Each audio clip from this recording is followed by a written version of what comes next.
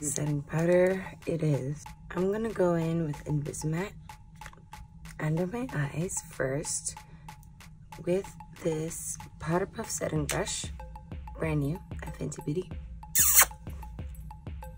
Let me show you the magic. Super easy, and it feels so good that you could just get lost just doing this over and over. Look at that. Look at that. It's not even a joke. It's not even like I'm trying to sell you a brush. Like you can see this. There she is. Wait. Look at it. Look at that. It's like magic. So I usually like to use this for the T-zone. In the past, I had to wear this one everywhere and then just get it warmed up around the areas that I wanted it warm in. And now a special setting powder, which is specialized for each skin tone. My skin tone in our setting is honey. When you open up the powder, there you go. F B.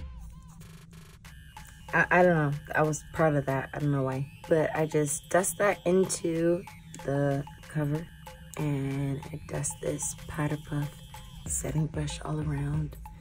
And then I go in around the cheeks. And you can see as I apply it, it gets yellower. It just warms it up like naturally. It's not even like a bronzer, but this thing is like, like magic.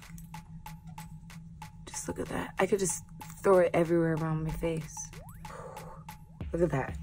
It just buffers out. It buffers out. It's perfect. Like, I'm so happy. I'm so proud. I don't know why. Because it actually works. As long as you have this this brush, it's the right tool. It can blend everything out. It can buffer everything out. And as you can see, it works perfectly for me. She ready. Give me up. No, like actually look, look. Mm. no, honestly, like, And then you see my red ass mm. face. when that works, bitch, like, look at me.